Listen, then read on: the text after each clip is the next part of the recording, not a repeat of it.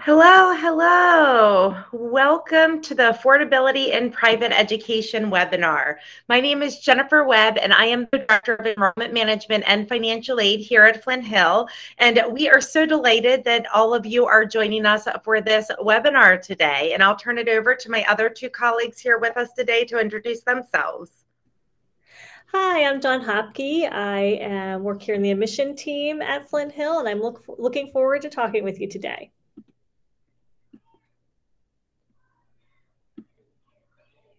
Oh, Jordy, I think you're muted. I am. So sorry about that. Um, my name is Jordy Izzard, and I'm an admission officer here at Flint Hill, and I will be your moderator for the webinar. So uh, if you have questions, feel free to use the chat function and ask them, and I may type answers back, or we may uh, say them verbally as well. And enjoy. Great, thank you both. Do do both of does everyone see the presentation on the screen right now? Yes. Great, great. Thank you, thank you so much. So uh, first, we'll go over um, what you can expect from our presentation today. And so, some of the things that we will cover today are ways to afford private school, uh, the value of a private education, and then next steps with Flint Hill specifically. So, I'd love to hear from all of you. Um, if there's one of these that you'd like to, to, hear about most more than the others, so let's label uh, ways to afford private school one, the value of a private education as two, and then next steps with Flint Hill as three. And then if you'll just go ahead and practice using your chat function and type in the numbers that you're most interested in hearing about. It might be one, two, three. It might be uh, one. It might be three. Yes, we'll make the slides. We'll make a webinar, the webinar recording available uh, to all attendees and all registrants after the event. Great, great. Thank you so Jennifer, much for sending in. We have a raised hand. Wonderful. We have a raised hand from Carla Marie. Okay. Carla, feel free to chat in your question or unmute yourself and, and just ask away. Sorry about the mute. No okay. questions. One for me, though. Ways to afford a private school.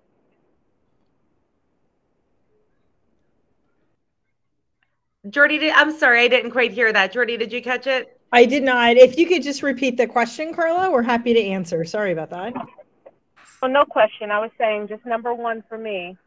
Wonderful, wonderful. Thank you so much for sharing that. It looks like I see the responses. We have a, a great mix. So um, thank you so much for, for sharing that with us. And we'll go ahead and we will jump right in. Um, there are, uh, with the the ways to afford private school. That's where we're, we're starting today. So um, there are several ways to afford private school that I've listed on the screen, and these are some of the ones that we're going to go over. Payment plans, financial aid, loans and credit cards, scholarships, um, family and community support, college savings that can be used for private school, 529 accounts, um, and, and ways to save. So uh, Dawn's going to get us started now with getting on a payment plan.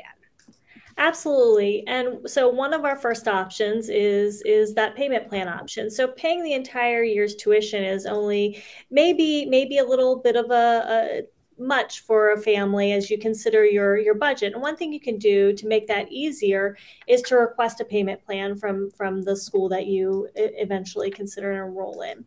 Many private schools will allow you to get on payment plans. On such plans, you'll be allowed to make smaller payments instead of that one lump sum.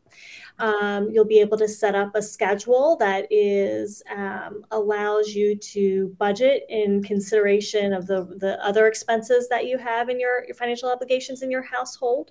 Um, so here at Flint Hill, we offer uh, three different types of payment plans. One is, of course, that lump sum that that um, we've talked about.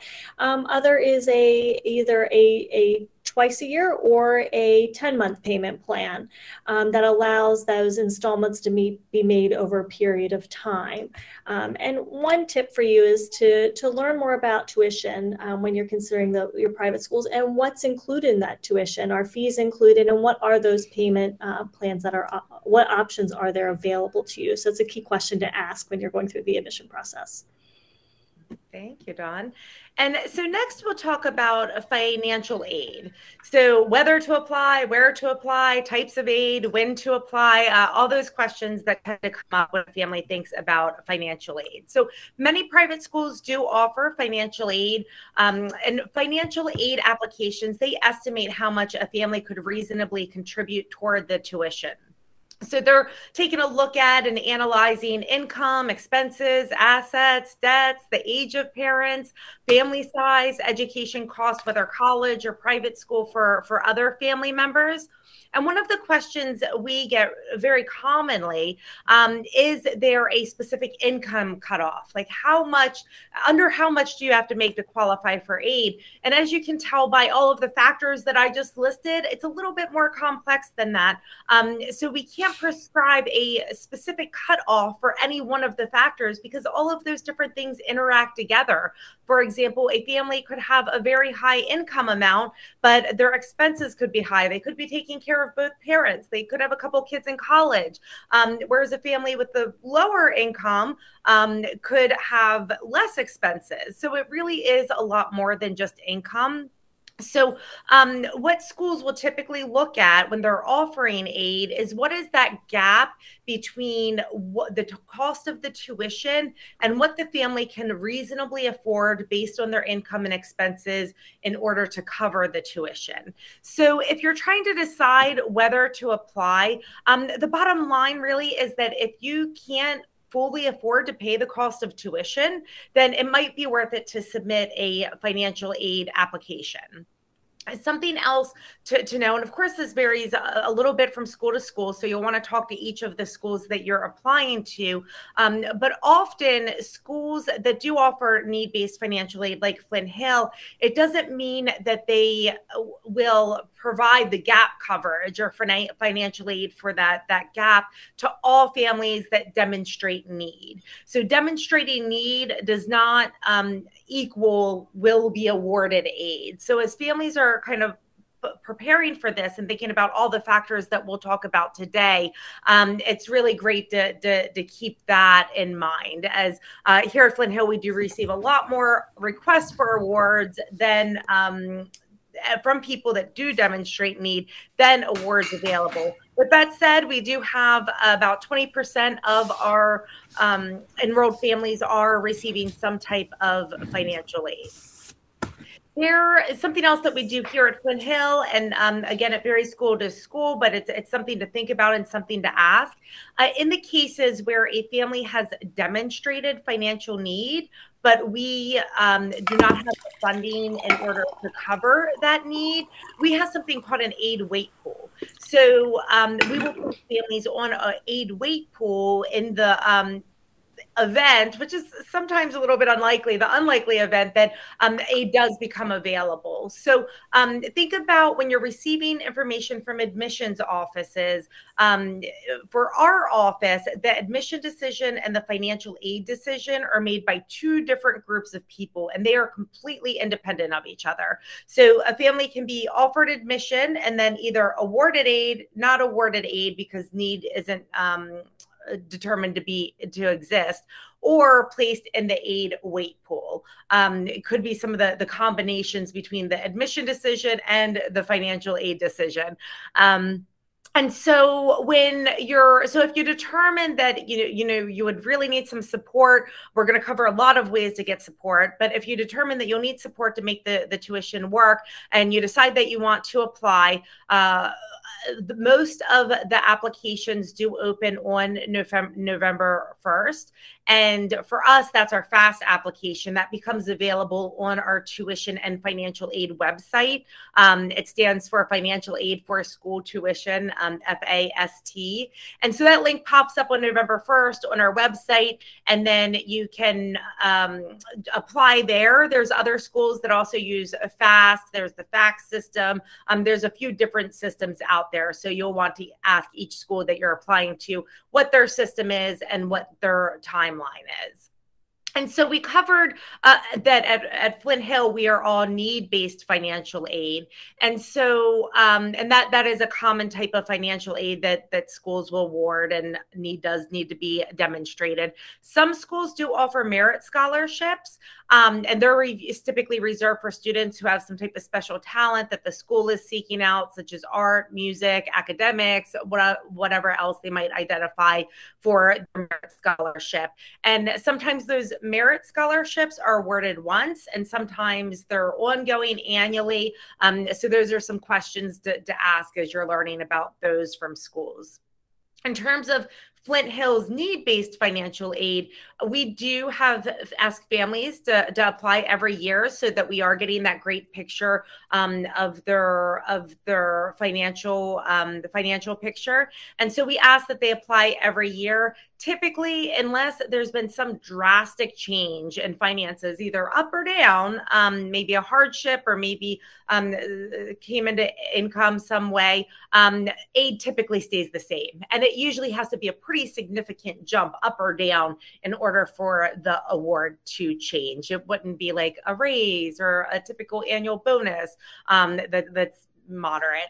Um, it would have to be some some big change in order for for us to change that typically a lot of families there's um, there's a lot of myths out there about financial aid and NAIS, the National Association of Independent Schools, list on their website. If you search NAIS and myths about financial aid, you'll come to a great website that helps demystify some of the myths that are out there by about financial aid. One of them is that if you apply for financial aid, that might hurt your your child's chances of being admitted like I said, at Flint Hill, that's certainly not the case because we make those admission decisions separate from those financial aid decisions. And so next we'll talk a little bit more, um, go into the, the timeline, specifically how it fits, how financial aid fits into the overall timeline of the admission process. And so I have our admission, some of our key admission dates up on the screen, along with some of the key financial aid dates up on the screen. And again, you want to check with every school. Most of the ones that are members of AISGW, the associ- association, excuse me, of um, the schools in Greater Washington, do follow the same or a very similar timeline. So our application is already open for admission. I know a lot of you have, have applied, so that's wonderful. So great to, to see you here today. Um, I'm sure some of you will are, are yet to apply, but will, and, and we certainly are excited about that. And then November 1st, as I mentioned, marks the opening of the financial aid deadline. The 25th is when the financial aid application is due. March 5th is when admission decisions are sent out and aid decisions, even though they're made by two different groups, those go out together. So you'll learn about your admission decision and your financial aid decision all at the same time. And then there's um, some other key dates in the admission process there. And if you're interested in learning more about the admission process specifically, we did a webinar a couple weeks ago called Navigating the Private School Admission Process, and that recording is on our website. Okay, and I will turn it over to Dawn to talk about loans and credit cards. Thanks, Jennifer. So, just like you can take out a loan for a new house or a new car, you can take out a loan for private school tuition. You should also take a look at your finances and determine whether you're willing to take on that long term debt. If you think you might be able to pay off the loan before the term ends, then make sure there are no penalties involved with that early payment. So many lenders do have those penalties in place that, that kick in if you try to pay off early. So that's definitely a research point for, for you if this is a consideration. Um, you can certainly learn more about, you know, uh, resources for ex- expenses associated with a private school education from Sallie Mae. Um, but again, you're going to want to do that research to find the best lender or loan option for your family. Tuition loans are personal loans. They are they are provided by a private lender. You have to apply directly to that lender, and your loan amount in, interest rates will depend on um, certainly the lender's credit requirements. Some loans are used to pay expenses or, are not covered by grant. You can search for lenders who offer K to 12 loans on NAIS, National Association of Independent Schools. They do have a company and consultant directory that could be helpful to you. And you're going to want to select the financial aid loan programs when you do that search in that category field. Now, Flint Hill does have a loan program. We've partnered with an educational loan program called Tuition Solution. Um, they work with families to offer a low fixed education plan, a low fixed rate education plan another alternative to you know um, to sort of looking at the, the the payment options are credit cards. And many private schools do uh, allow you to make your tuition payments using a credit card. However you're going to want to look at a, a card that might you know offer that that money back option um, or offer some sort of rewards to you. Some credit card companies offer anywhere from 1% to 5% cash back on purchases made. And if you have such a card, then you'll get a significant amount of money back if you charge your private school tuition payments. One of the things you're going to want to think about carefully, though, is um, if you're not able to pay that balance off right away, then pay, you'll be paying that interest, and that'll eliminate any of the cash back benefits that you would have earned through using that credit card. You're also going to want to ask questions about um, the credit card fees um, related to to using that credit card for payment. Um, you know, families at Flint Hill are able to participate in the FACTS program. That is not the, the FAST program. This is FACTS, which is uh, an automated payment plan, which uses Discover, MasterCard, Visa, and American Express to charge, you know, your credit card or your, your tuition payments. And there is a convenience fee um, to that of about 2.85% or $100 processes in addition to the FACTS fee. So um, definitely ask questions about those using that credit card and learn all you can about any additional fees related to, to that using that credit card to, to pay tuition. Thank you, Dawn. And one thing I'll I'll add is that um, we talked about the the payment plans uh, with even without using a credit card is also our FACTS system um, just to keep it really confusing with the FACTS and the FAST. Um, but the if you you pay using a checking account or another type of bank account there isn't the same fees as if you uh, pay with a, a credit card Okay. And to move on to talk about scholarships, um, a lot of families will seek out private school scholarships. Uh, many families tend to think about scholarships as financial aid tools only available for college students, but there's actually a lot available to help fund kindergarten through 12th grade education. Excuse me. For families sending their children to independent schools, the National Association of Independent Schools, NAIS, offers a financial aid guide that might help on the AISG, also AISGW offers a guide on their website too. If you go to AISGW.com backslash affordability, you'll find that one there. So you can search for, for both of those to get a full current updated listing of scholarships that, that are out there. A number of the scholarships do aim to specifically support children from low income families or other groups. Some might be merit based. Another really great resource out there is FinAid, F I N Aid, where they list scholarships that may help fund your child's private education. And they have a list of scholarships for children under the age of 12 just a couple of examples of them. There's there's some up on your your screen.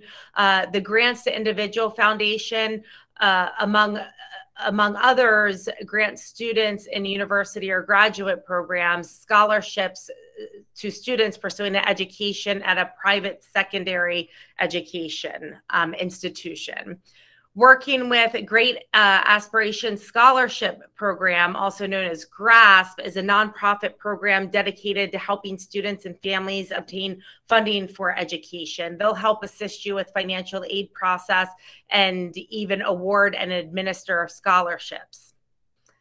There is the Jack Cooke, uh, Kent Cooke Foundation that awards tens of thousands of dollars in scholarships to students entering high school who have de- demonstrated strong academic performance and family need, which they define as having a family income of no more than $95,000 a year. The Jack Kent Cooke Foundation offers scholarships on the basis of both need and merit. So there's that need um, that needs to be demonstrated, but then they also take merit into consideration for high schoolers for part of its Young Scholars program. And you can think about these programs depending on where you are in the process as well. Uh, for the Jack Kent Cooke Foundation, it's a tongue twister. They um, families start the application process in grade seven, so something to, to think about there. There's Emerging Scholars is a comprehensive 14 month program of academic, cultural, and social preparation program, Emerging Scholars partners with parents and institutions such as Flint Hill to provide significant financial, academic, and social support, which allows unique, capable, and driven students to embrace the life changing opportunities of enrolling at an independent school. And their website is emergingscholars.org. If you want to cast a, a, wider net, there's a number of middle and high school scholarships and awards that take other criteria into consideration. For example, the Gloria Barron Prize for Young Heroes awards up to 10,000 to those students between age 8 and 18 who have demonstrated a dedication to their community through a service project.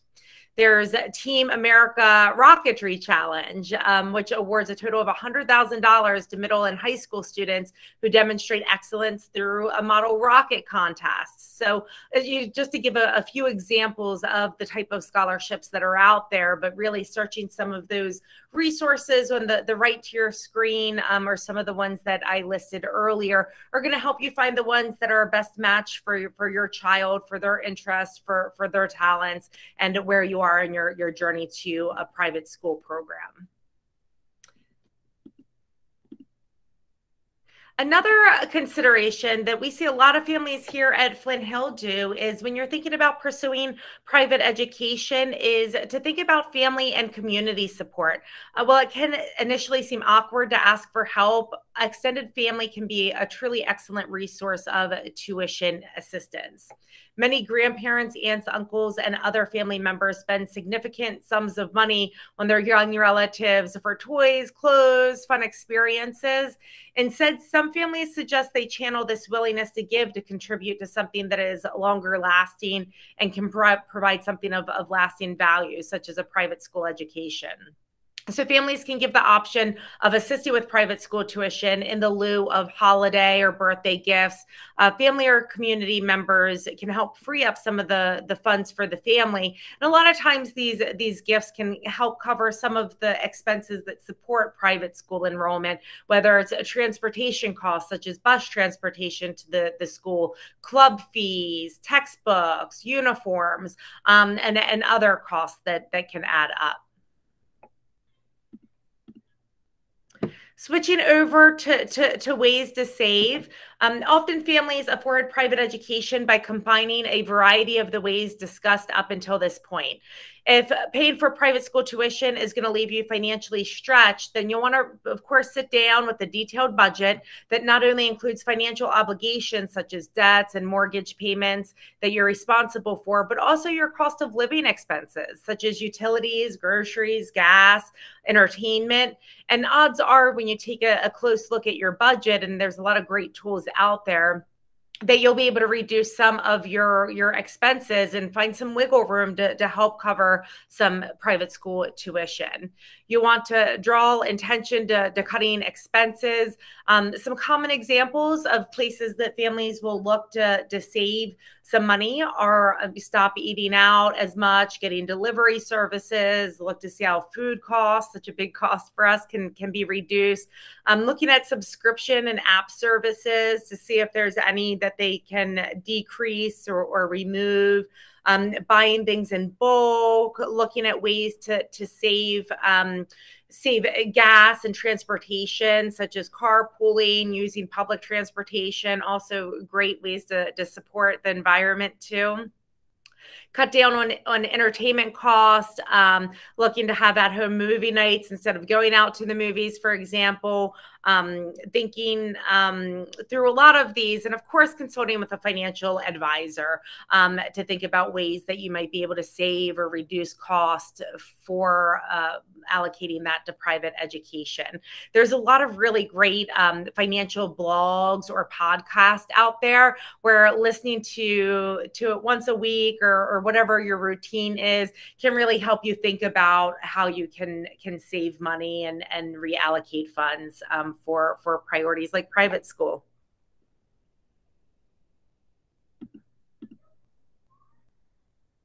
Okay.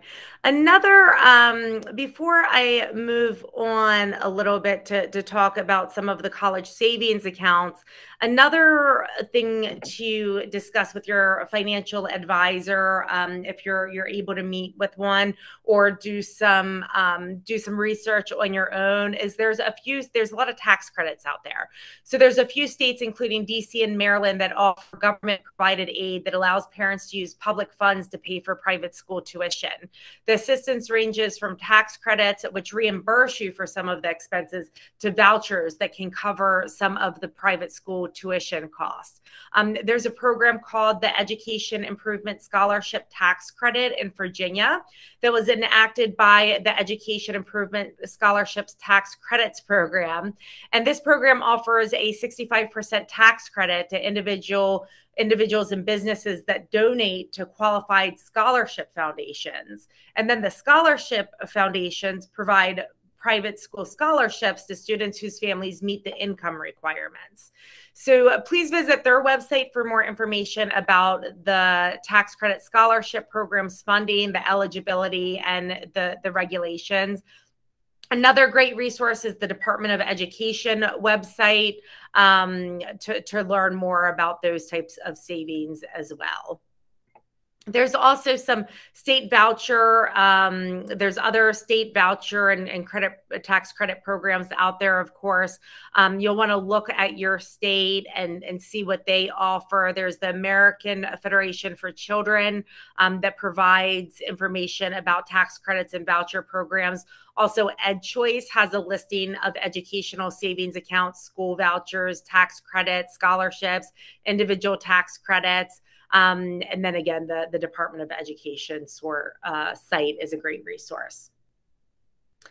So, another way to think about uh, funding private school education is if you've already set up or thinking about setting up a Coverdell education savings account or a 529, depending on, on where you are. If you're way ahead of thinking about private education, or uh, maybe you've already started one of these accounts and you're, you're thinking about private education immediately, um, these types of accounts receive uh, key tax advantages also. So, many parents set up a college savings account they're typically thought of early in life to, to think about using um, the funds for college education. But these accounts can also be used to cover private school tuition and expenses. And these tax benefits can, um, to the for these accounts, can offer significant family savings as well all money deposited into the investment account grows tax deferred, meaning that funds in the account can be withdrawn with no tax ben- penalty to pay for any qualified education expenses, which include private school tuition, books, and uniforms typically. So there's a great tool to compare the Coverdell ESA with the 529 plan to get a better understanding of which option may be best for you. And so if you search like Coverdell ESA versus 529 um, and savings for college, there's a website that will bring up a comparison of the, the two.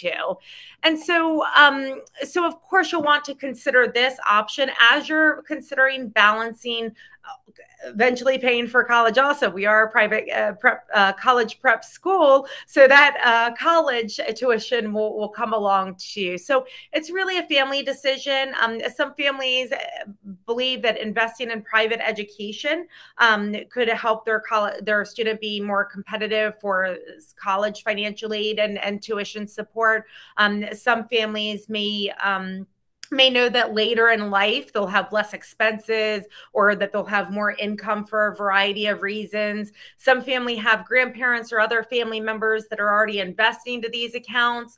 Um, and they know that they might be able to utilize that and use some of their own funding later for, for college. So it's really um, a, a, family decision and, and how you're going to use these college, um, typically thought of as college savings funds uh, for a private education.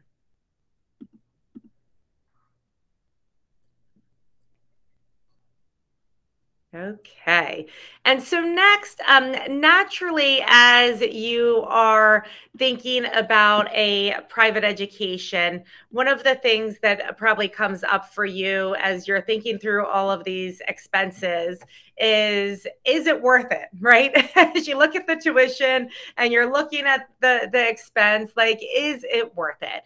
And so again that's going to be a, a family reflection uh, in that navigating private school admission process, we talk quite a bit about, you know, determining fit and determining if private school is the right fit for you, and and if so, what private schools might be the the right fit. So um, some of the the considerations, um, of course, at Flint Hill, we think private education is certainly worth it, um, as do our, our enrolled families.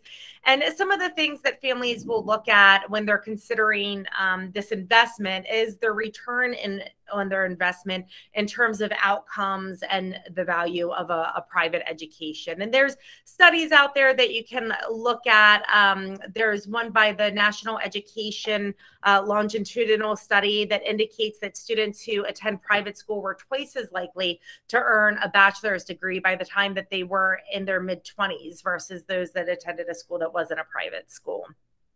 There's a study by the Council for American Private Education that states that 64% of graduates from private schools go on to a four year college versus 40% from public schools and 37% from charter schools.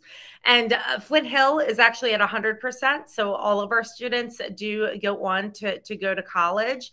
Um, and then there's also the, when thinking about the, the investment, the true financial return on investment might be for you might be what your child can earn in the future. And there's plenty of studies out there that show that students with bachelor's degrees and and certainly those that go on to attend graduate programs um, end up making on average about uh, two and a quarter million dollars more um, in their lifetime just in salary. Um, that's not even considering how they're investing their salaries um, in the future.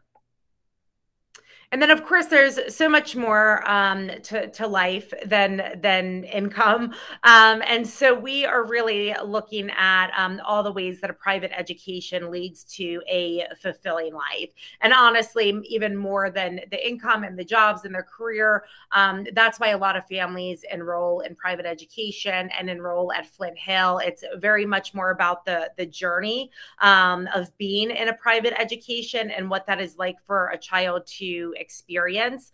Um, for example, thinking about teachers in classrooms, private school teachers have flexibility in, in how and what they teach. They don't have the, the pressures of the mandatory testing. So they're really able to focus on real world application, really able to, to focus on the, the process um, and where the students are in the process. Um, students are encouraged to really challenge themselves and support each other in reaching their fullest potential in private schools. And this really leads to a profound understanding of, of the subjects that they're, they're looking at on average private school classes are a lot smaller. And that's not of course we we all know there's so many benefits to to the children in the classroom of those those smaller classes. Uh, but it's also better for the educators. The educators are able to enjoy more autonomy and they can pay attention to the development and individual challenges of every student which is also really rewarding for for the teachers that are working with them Private schools tend to be child directed, so children are able to engage in their interest and pursue their curiosities, um, which is a really important word here at Flint Hill curiosity, um, which helps them discover their, their true grits and their true talents. Um, this is crucial for choosing the right education and career path for them later in life. Uh, it also promotes a better life satisfaction for children during school and continues to play a part um, of who they grow into in adulthood. So, you know, much like the self-directed classroom, when children are, are choosing in, in school and then in life according to the, their interests, they end up in a, in a career that they love and, and are more satisfied by that. Flexibility is another thing to consider about private schools who are, are, often smaller and they have private funding and they're able to be more nimble and flexible with their own funding in order to keep critical programs in place. Um, they can be nimble in making decisions that are best for their community in unexpected circumstances like pandemics we've all recently learned. Um, something else is a character and, and values. Private schools are really known uh, uh for character development. So um, private education is is founded on a strong sense of values, and these values help children to form lifelong friendships with their their schoolmates. It also fosters healthy relationships between parents, teachers, and students that lead to a general feeling of well-being and facilitates learning in an organic manner when those partnerships are are really strong and everybody is founded and grounded in the the same consistent values. Also, um, community private schools similarly offer strong parent partnerships, which leads to strong parent participation, um, which brings all of the community together participating in the school, um, which equals a community all equally committed to, to success. And so um, that ends up helping children and also parents feel really connected through a support network. Many parents share with us that they really feel joy when they drop their kids off here at Flint Hill because they know their kids have found their community and the parents have actually found their people here too. It's a, it's a big part of, of their life and, and who they are. And overall, private schools provide an avenue to be accountable and explore talents, interests, build relationships, and these continue into to college for rewarding careers. And the value of private education um, ultimately creates a foundation for a fulfilling life, if you think about it in, in all the ways that we just mentioned. And so, when looking at a private school that's the right match for your child um, and ju- th- thus have the, the most value for you, um, you'll want to get a feel for the school's ethos, their educational philosophy, their mission, their values, their personality. Um, to describe a little bit about what Flint Hill's ethos is, um, we at, at Flint Hill, we imagine what's impossible. We never rest on our laurels. We're endlessly curious. I, I mentioned that being an important word here. Um, we're endlessly curious, which leads to openness, making connections, expanding horizons. We are driven to constantly evolve, always anticipating our ever changing world and leading the way towards innovative solutions and shape tomorrow. We champion positive change and we seek creative solutions, striving to deliver excellence in all we do um, to, to better the world around us. We believe that education fueled by personal interest motivates self-directed inquiry and fosters a lifelong love of learning. We encourage each other to excel to their fullest potential and courage courageously take on meaningful risks backed by the confidence of self-knowledge and um, one of the things that we mentioned in the, the navigating webinar that's really fun is to, um, if you're looking at different schools, to, to think about who they might be if they were a person. And um, you really want to, uh, you could ask an admissions team member, if your school was a person, how would you describe their, their personality? And the answer to that here at Flint Hill is inventive, curious, courageous, supportive, inclusive, intentional.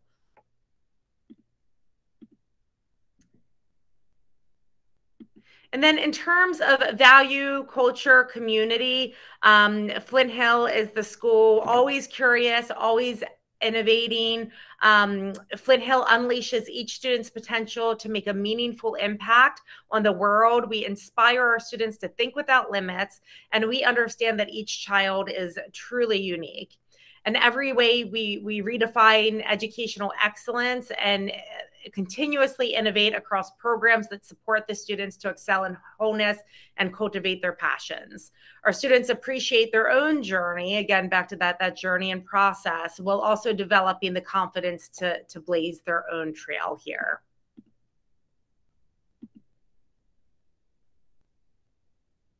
Okay, and before turning it over to Dawn to talk about the, the core values, I'll just um, mention our, our mission. If you go to our website, you'll see our mission. And as you're looking at private institutions, you'll, of course, want to see if their mission is something that you can support. When we're making admissions decisions, we're keeping the child, of course, in the center of all of our decisions, along with our mission and, and what we're able to, to provide. And uh, here at Flint Hill, we focus on the learner with the context of strong relationships.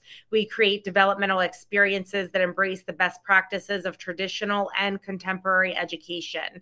Through continuous growth, we actively and thoughtfully implement the ideas and resources that help each child investigate, create, and communicate collaboratively and effectively in a rapidly changing, interconnected world.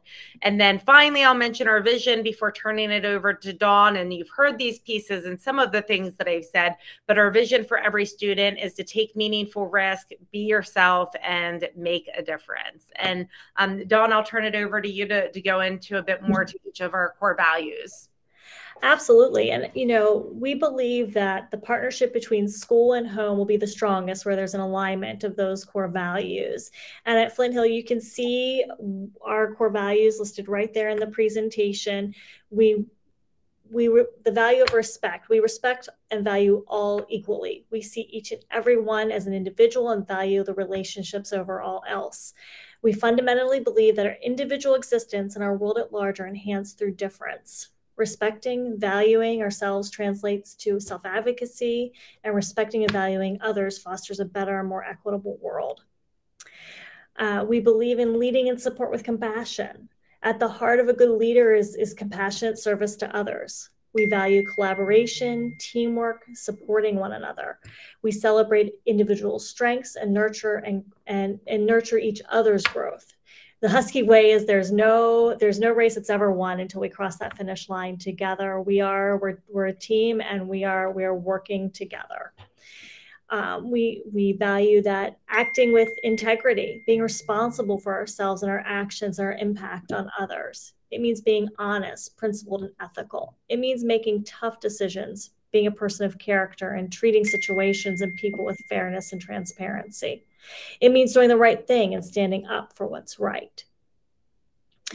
We also believe in taking responsibility for our actions. We strive to be our best selves and make a positive impact on our world, valuing the journey over the destination.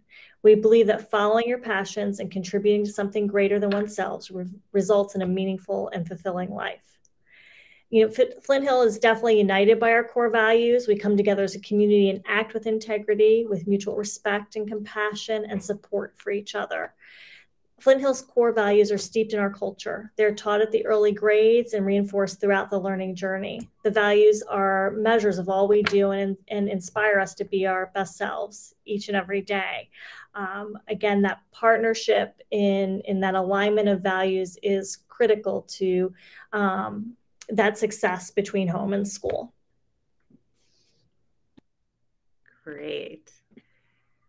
Thank you. And so I will talk a little bit now about opportunity costs. So, um, a lot of families, again, when they're they're looking at this um, investment and considering private education, uh, a lot of families are thinking, do we do it now or do we do it later? And again, it's going to be a family decision based on, on so many different factors. Um, uh, some families will think we're going to do it later because we want to do it when it's closer to college to really focus on that that college preparation piece. And a lot of other families will think that it's better to start the investment earlier um, and start their child in a private education earlier because if you start your child at a younger age, it really starts them with the, a firm foundation in those those values. Um, they, um, uh, from an early age, uh, they really foster the self directed learning. Uh, again, to, to get them into a close knit community with a strong support system earlier in life to, to help foster that that motivation uh, again, there's the the foundation of safety and security that enables uh, children to take risk and to, to be themselves. So starting them at an earlier age um, and starting them with that foundation of, of safety and, and security uh, at their at their school and their their community. And then um, to allow them to have the, the full impact of early inspiration from bold, creative teachers with advanced degrees.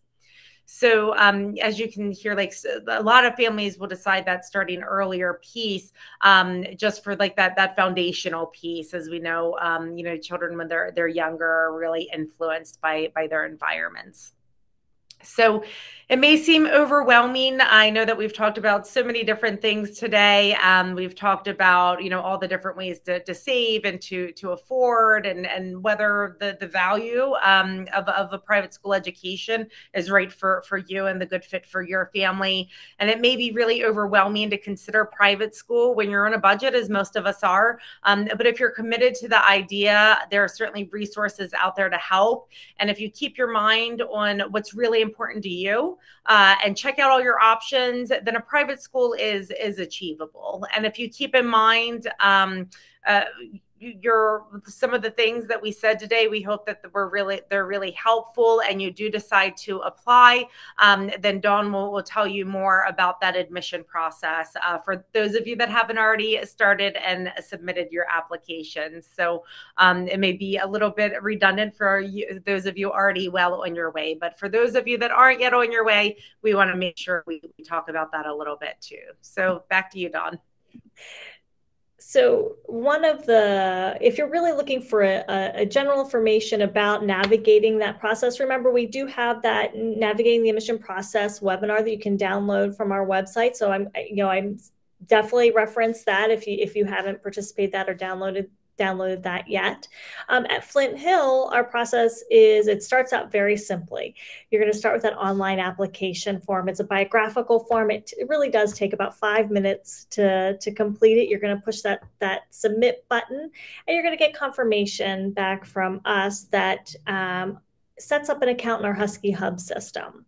And Husky Hub is our is our community portal, and um, for those applicant families, it becomes this place you're going to go and you can see that admission checklist. So you can follow all of the steps in the admission process and it helps you with some of the scheduling and you can see what's complete and what still has to happen. Um, so great resource for you. Now on that checklist, there are going to be several, several steps to the, the application process. I know Jennifer gave us the sort of a little bit of a timeline earlier, but we're going to want to have uh, current teacher recommendations um, completed um, that that form is available now, but we do recommend that you consider submitting that to the teacher after that first quarter or trimester grades. That still gives us plenty of time to get that in by that January 21st um, application deadline. Uh, we're going to ask for transcripts from your child's current school. And again, um, at, please submit that transcript request form or, or the, the link to, to, to give us uh, permission to request those transcripts. Uh, again, right after that first quarter or, or trimester. So we can get a, a picture of how your student is doing academically this this this this current school year in addition to um, the past few school years. Um, you're also going to want to complete that parent questionnaire. And i I highly recommend that you complete that parent questionnaire prior to um, coming in or, or scheduling that, that virtual parent interview. So you have two options, in person or virtually for that parent interview time.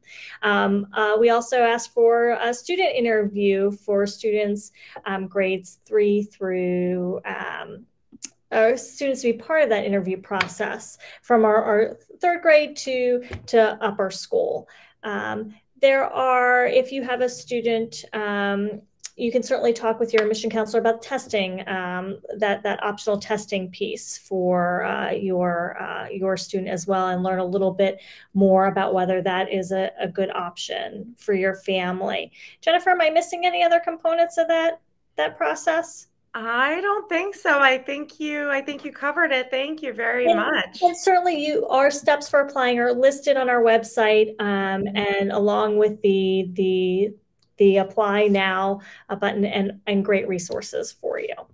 Yeah, absolutely. And, and we're all here to help, which is the next part of this, next steps. Um, you can uh, call us, email us, schedule a virtual meeting with us, schedule a phone consultation with us, schedule a tour with us, um, attend another event. We have a ton of events coming up, some parent to parent. If you want to meet the parents, if you want um, to, to come to campus and hear from a division director, if you want to log onto your computer and hear about um, the school from the headmaster the division director, if you look at our events page, which you've clearly done, um, you'll see a listing of both our future events. And as we've mentioned, we have some past recorded events there for you um, ready to watch whenever you're ready to watch them.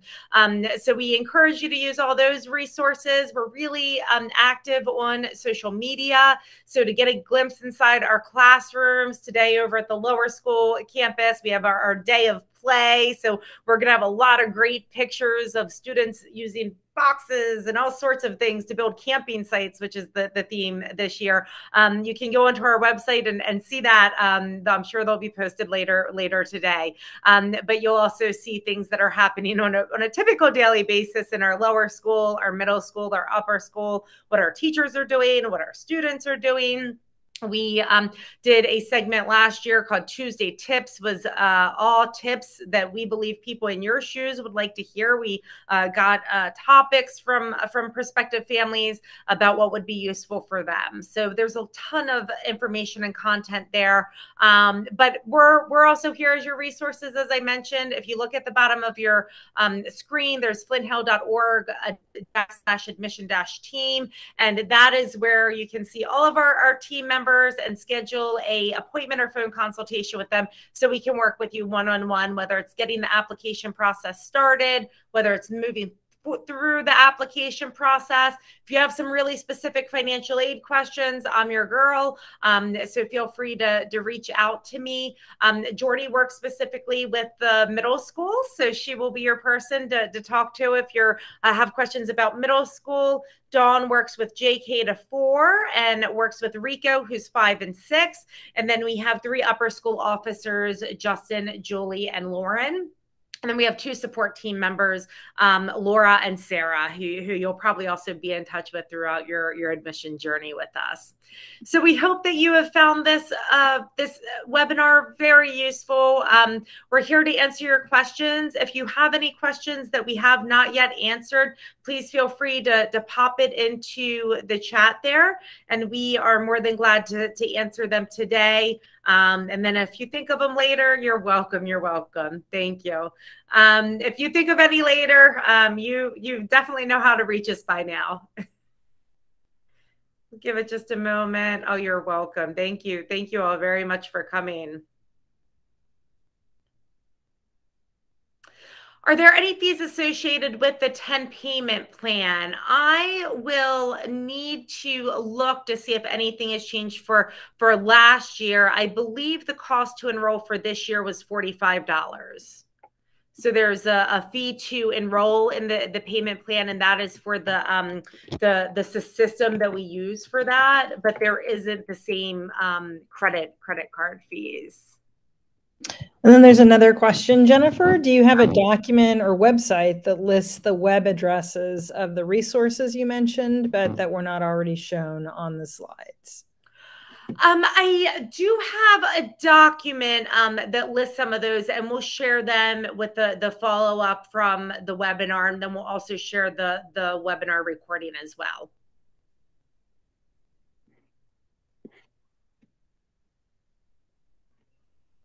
Any other questions? Feel free to chat them in.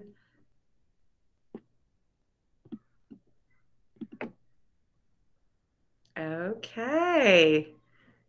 Mission accomplished. It looks like we've answered all of your questions, which um, is what we set out to do. So thank you for for us all uh, reaching our goal today. Hopefully during this this webinar, and we are going to look forward to, to continuing the dialogue. And um, thank you for spending your lunch break with us. And we will talk with all of you very soon. Have a great afternoon and a beautiful weekend.